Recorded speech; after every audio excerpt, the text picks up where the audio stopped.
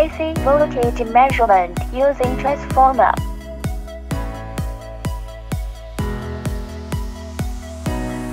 And NCV non-contact induction voltage, safe to use.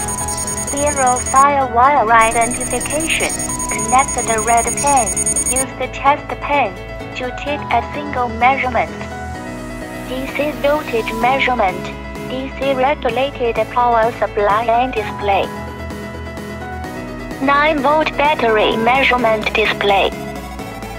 Lithium battery measurement display. 1.5V battery measurement display. R14 battery measurement display. Button battery measurement display.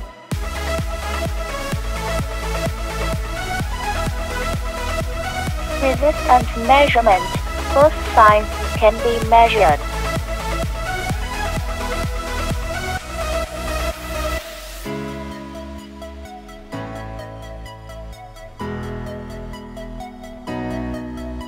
Diode measurement.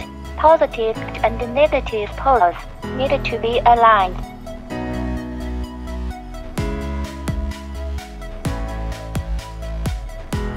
Buzzer to detect whether the line is on or off.